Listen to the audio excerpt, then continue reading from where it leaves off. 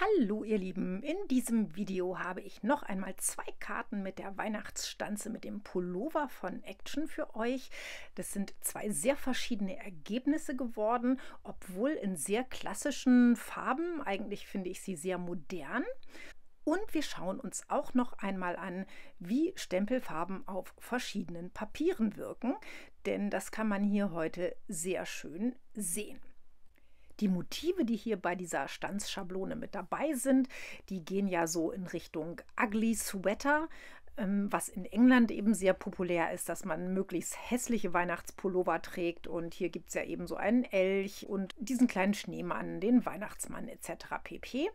Den Weihnachtsmann habe ich mir hier gegriffen, wobei ich eben eigentlich finde, dass diese Motive ja schon einen gewissen Liebreiz haben und nicht so wirklich ugly sind, aber ich glaube gemeint sind eigentlich eben von der Motivlage her diese ugly Sweater, obwohl man da ja eh hier eben auch noch sowas mit Norweger Muster machen kann und so. Ich habe mir hier auf jeden Fall den kleinen Weihnachtsmann äh, oder eben Nikolaus, so habe ich ihn interpretiert, herausgepickt. Und ihr seht, ich beginne jetzt damit, den Bart einzufärben und habe mir dafür eine graue Stempelfarbe ausgewählt und färbe nur den unteren Rand so leicht ein, dass es einfach wie so ein kleiner Schatten wirkt ja, das könnt ihr je nach Geschmackslage machen. Den, das könnt ihr euch vielleicht auch schenken. Ich glaube, Plastizität ist ja vielleicht eigentlich auch nicht wirklich gefragt, wenn man sich überlegt, dass das ein Strickmotiv ist. Also diesen Schritt könntet ihr auch einfach überspringen.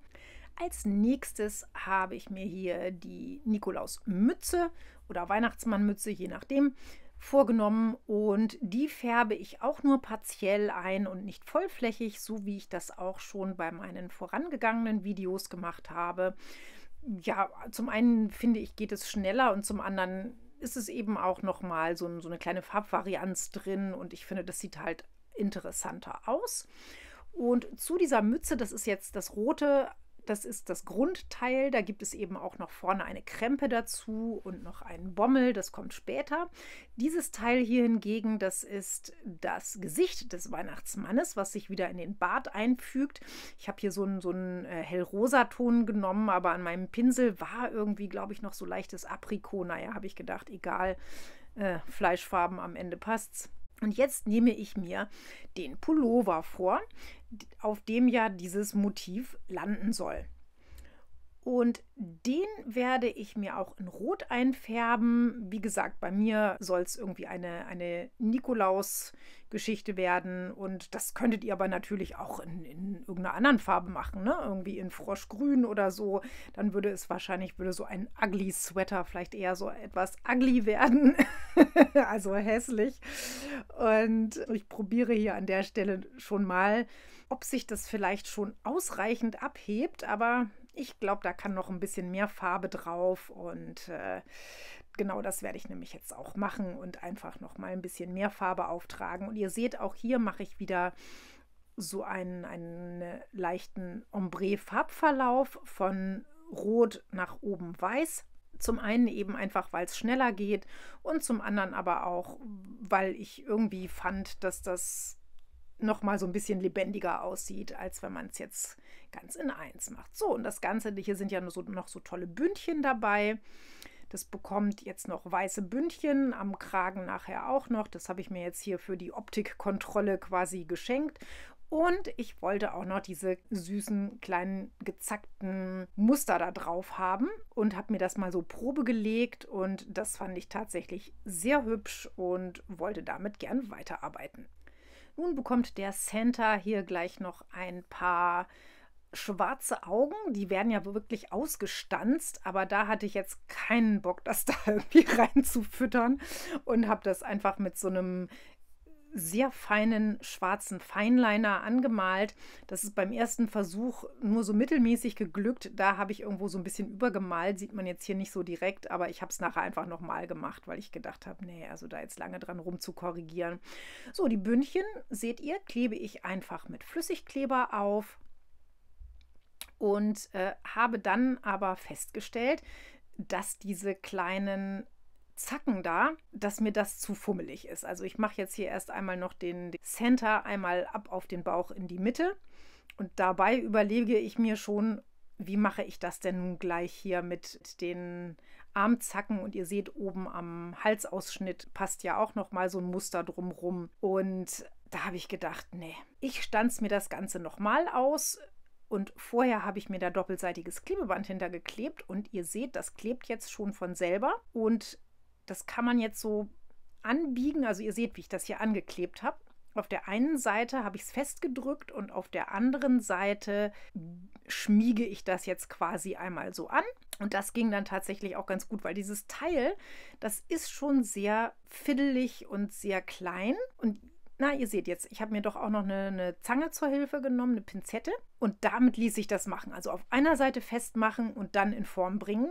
Und sowas mache ich jetzt hier auch mit diesen kleinen Teilen hier auf der einen Seite erst anlegen und dann, das ist ja auch so leicht dehnbar, ne? dadurch, dass das dieses Zickzack-Muster hat und dann kann man es wirklich gut anpassen. Ich habe mir eben noch eine Pinzette da zur Hilfe genommen, weil das wirklich deutlich einfacher war. Naja, hier, ihr seht, ne, das, das ist hier bei mir auch so ein paar Mal hin und her gewackelt. Aber wenn man da einmal den Bogen draus, raus hat, dann geht das total gut.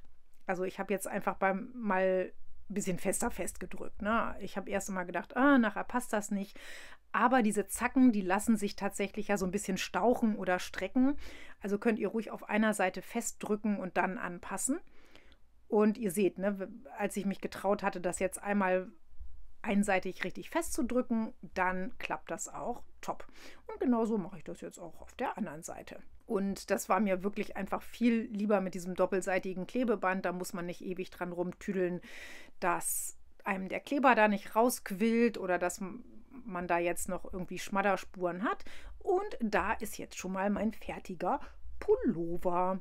Und das Ganze kommt auf so eine craftfarbige Auflegergeschichte hier. Ah, guckt mal, den Bommel hatte ich noch vergessen.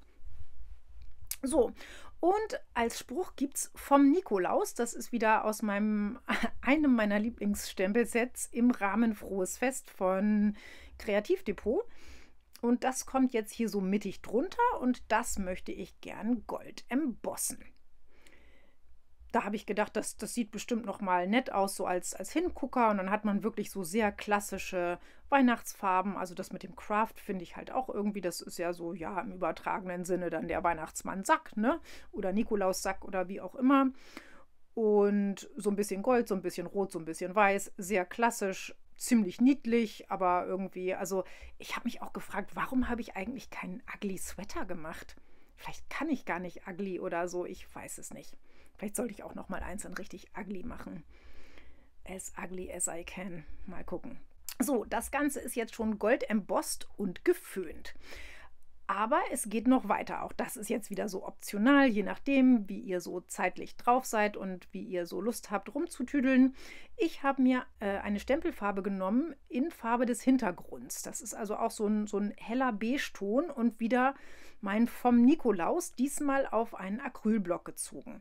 Und jetzt setze ich quasi die Reihe fort und stemple mir einen Hintergrund, der aber sehr subtil ist. Also, wo dann eben die ganze Zeit immer steht vom Nikolaus, vom Nikolaus. Und das stemple ich aber freihand. So, so rum geht das irgendwie einfacher, weil man da nicht mit der Kante zu kämpfen hat. Und jetzt stemple ich das so ein bisschen versetzt. Ihr seht, wie ich das mache. Ne? Also es überlappt am Rand immer mal. Und oben drüber setze ich gleich auch noch eine Reihe. Und das ist immer so, dass das wieder so, ja, wie so eine Steinreihe quasi, wie so ein Mauerwerk versetzt ist.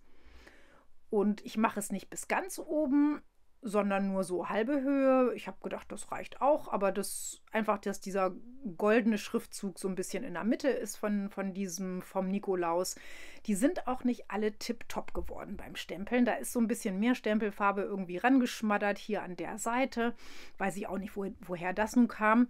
Aber ich habe es so gelassen, das ist so subtil und ich glaube, also ein Bruchteil der Empfänger wird das sicherlich sehen. Und ansonsten sage ich mir immer, hey, es ist mit lieber Hand gemacht. Ne? Also das hättest du halt bei einer Industriekarte nicht.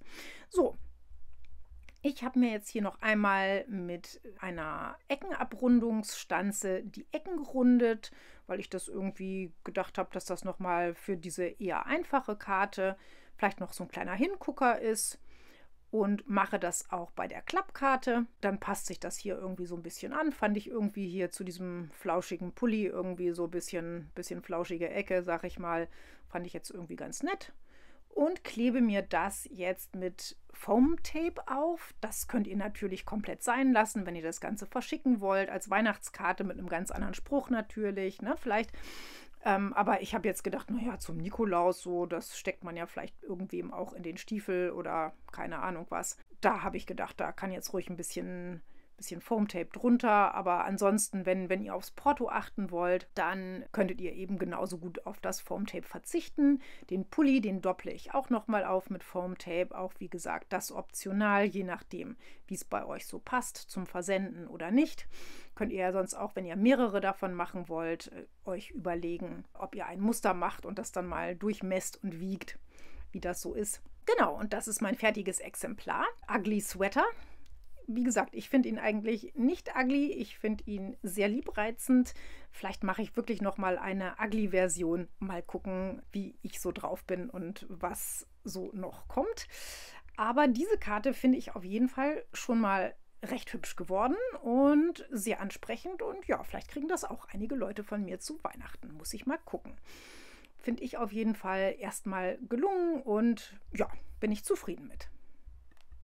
Für Karte Nummer 2, die würde ich sagen deutlich schneller ist, habe ich mir auch dieses Santa- oder Nikolaus-Thema wieder genommen und nehme mir erst einmal hier ein weißes Stück Cardstock und genau diese eine kleine Stanze und davon auch nur die oberen Teile, nämlich die Schnalle und die Knöpfe. Unten hier diesen, diese Zacken und den Gürtel da, das nehme ich mir nicht sondern nur die Schnalle und den Gürtel. Und die habe ich mir nämlich in Gold ausgestanzt. Und der Rest vom Nikolaus, der passiert hier auf diesem weißen Stück Cardstock. Dazu nehme ich mir wieder einen kräftig roten Ton und da machen wir jetzt nämlich die Robe. Die da wird quasi das ganze Stück Cardstock. Ich fange wieder von unten an und trage meine Farbe auf, ruhig in kräftiger Intensität unten und ich arbeite mich so V-förmig nach oben, dass ihr quasi immer so ein weißes V in etwa stehen habt nach oben, denn das wird quasi in Gedanken der Bart von Center, den wir gar nicht näher definieren. Das läuft so ein bisschen flauschig aus, aber das könnte halt entweder könnte das der Pelzbesatz von, von seiner Robe sein oder vielleicht auch der weiße Bart, der so latent ins Bild hängt, wie auch immer. Und ihr seht, ich gebe da schon ordentlich Farbe drauf, bis es mir halt gefallen hat, dass es eben nicht so rosa aussieht, sondern ja, schon, schon richtig ordentlich Weihnachtsrot. Und jetzt seht ihr, wo die Reise hingeht. Ich habe mir einen schwarzen Streifen Papier aus meiner Restekiste genommen, der zufällig genau auf meine Schnalle passte und habe mir diese drei Knöpfchen ausgestanzt zusammen mit der Schnalle. Und die kommen da jetzt mittig drauf. Jetzt gibt es noch einen Spruch und da habe ich hier mal so ein bisschen rumprobiert. Das hier ist irgendwie von Danny Peuss. Ich glaube, das heißt 13 Mal Weihnachten oder so. Und da könnte man jetzt natürlich hier oben einen Spruch vielleicht machen, in den Kragen, Schrägstrich, Bart, wie auch immer, in diese weiße Geschichte. Das fand ich dann aber irgendwie nicht so gut und habe gedacht, nee, das ist vielleicht besser, wenn man hier dieses kleine frohe Weihnachten nimmt und das hier direkt neben die Schnalle macht. Denn dann hat man so den, den Hingucker vielleicht eher erst unten mit frohe Weihnachten und oben. Also wenn man den sich vorstellt, der Blick, der schweift so ein bisschen runter. Irgendwie fand ich das, ja, fand ich irgendwie spannender als das andere. So, und das Ganze werde ich mir jetzt auch gold embossen und naja, ich hätte mir das jetzt auch, ihr könnt euch das, ihr müsst euch das nicht auf so einen, so einen schnibbeligen kleinen äh, Streifen hier embossen. Ihr könnt das auch auf ein größeres Stück machen und schneidet euch das dann aus in der passenden Breite. Dann könnt ihr auch noch mal anpassen, wie das so ist, wo, wo euer Stempel ist. Also ich wollte sagen, das ist ein bisschen einfacher, das dann zu machen. Aber das hat jetzt bei mir auch hingehauen und das Föhnen, das zeige ich hier nicht irgendwie. Und das ist mein fertiges Resultat. Das passt da super hin. Die Schnalle kommt da noch gleich hin. Und ich fand aber die Knöpfchen zu klein. Und jetzt habe ich die Knöpfchen noch ein bisschen aufgedoppelt. Da habe ich mir irgendeine Kreisstanze gesucht. Hier in diesem Set zum Beispiel ist was dabei. Ich wusste jetzt nicht, ob ich vielleicht auch schwarze Knöpfe mache oder so. Und jetzt habe ich mir diese drei nochmal von diesen großen Kreisen, die ich euch gerade gezeigt habe, ausgestanzt. Die sind so ein so ein kleines Stückchen größer als die goldenen Knöpfe. Und da klebe ich gleich die goldenen Knöpfe drauf, denn dann verliere ich innen dieses Genähte nicht, diese wirkliche äh, Knopfoptik. Und die Knöpfe können ja auch irgendwie noch einen Rand haben. Ne? Das, so sieht das dann nachher aus, als ob die Knöpfe weiter einen Rand hätten. Und also ich fand das irgendwie zu der Größe des restlichen Weihnachtsmannes stimmiger. Also die, die Schnalle ist ja schon sehr schlank, an der können wir jetzt nicht so wahnsinnig viel machen. Und ja, dann habe ich das Ganze auch wieder mit Foamtape aufgedoppelt, weil ich gedacht habe, naja, ist ja, ist ja sonst ansonsten wirklich eine sehr schlichte Karte, aber auch das könntet ihr euch schenken. Und das glatt aufkleben ohne Abstand meinen kleinen Streifen klebe ich auch ebenfalls mit Klebeband auf, weil ich eben Sorge hatte, dass ich da wieder rechts und links was rausquellen habe und so. Und naja, das hätte man vielleicht auch machen können, bevor man dieses ganze rote Teil aufklebt. Meine Schnalle ist jetzt auch nicht ganz in der Mitte. Fand ich jetzt aber auch nicht so schlimm irgendwie. Der Bart ist jetzt auch nicht super symmetrisch und naja, ich rücke jetzt hier noch so ein bisschen hin und her und äh, ob, ob die Knöpfchen ganz symmetrisch sozusagen über der Schnalle sitzen oder nicht. Da könnt ihr ja auch bei euch mal rumexperimentieren. Auf jeden Fall geht dieses Kärtchen sehr, sehr schnell und ist trotzdem weihnachtlich und man muss auch überschaubar viel stanzen. Also wenn ihr denkt, so, oh, diese ganze Stanzerei und so, ähm, sind überschaubar viel Kleinteile dabei und ich finde sie wirklich auch sehr ansprechend. Finde sie toll mit diesem Weihnachtsmann-Bart. Also ich sehe das, sehe das irgendwie als Bart. Wie seht ihr das? Ich, ich finde, man kann sich so richtig vorstellen, dass es irgendwie so ein, so ein unscharfer, flauschiger Bartrand ist. Naja. Ähm, genau, und ansonsten muss ich sagen, gefällt mir die Karte sehr gut und sie war sehr schnell gemacht und das ist auf jeden Fall für, für schnelle Optionen auch ein wunderbarer Hingucker. Und obwohl kein Stern oder irgendwas die ganze Optik hier ziert, nun eindeutig weihnachtlich. Oder was meint ihr? Und jetzt schauen wir uns doch einmal die beiden Rottöne an, das war beides genau diese Stempelfarbe und ihr seht auch im Video, wie unterschiedlich die beiden wirken. Es sind nämlich unterschiedliche Sorten Papier. Der auf der rechten Seite hier wirkt viel wärmer, während dieser hier eher kühler und so ein, fast schon so, ja, so, so einen leichten Pinkton hat ja, nicht wirklich, aber ich glaube, ihr seht, was ich meine, dass der linke auf jeden Fall kühler ist. Und der linke ist nämlich auf neutral weißem Kopierpapier gemacht und der andere auf weißem Papier aus dem Action 3 Farbblock, der so leicht off-white ist. Also seid auch immer auf der Hut oder seid euch gewahr, dass die gleiche Farbe auf verschiedenem Papier sehr verschieden wirken kann.